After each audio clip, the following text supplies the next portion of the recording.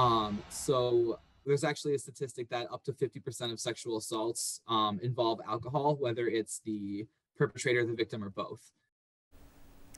Bars across Tennessee are taking steps to prevent alcohol-related abuse. They are becoming Safe Bar certified. That means staff are trained to detect certain behaviors. The Barrel House by Gypsy Circus is the first Safe Bar certified business in Knoxville.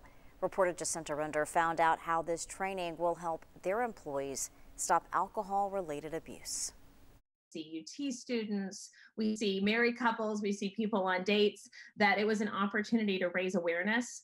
Stephanie Carson, the co owner of the Barrel House at Gypsy Circus, says they are the first, quote, safe bar in Knoxville, taking steps to make bars safe for everyone. The Safe Bar initiative was started by the Sexual Assault Center of Middle Tennessee to educate workers about alcohol's role in sexual assault and domestic violence.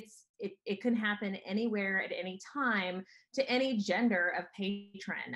The training is free and only takes a few hours. Advocates from the sexual assault response teams believe more safe bars are needed. So I think that Safe Bar shows uh, staff at bars and restaurants how uh, to do the right thing in these situations. Supporters also say it is a fight against victim blaming. You know, we're told that women who drink uh, are asking for it.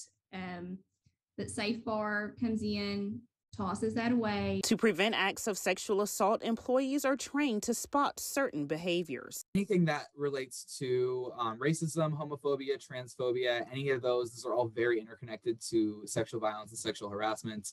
Jack Omis, a safe bar trainer, says some behaviors are aggressive and some are not. Um, and we give people all of these different examples to help them understand um, along the way. Like we hope that other bars in Knoxville follow suit.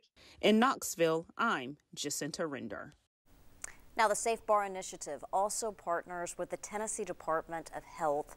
All bar owners interested in the training are welcome to call their office at any time.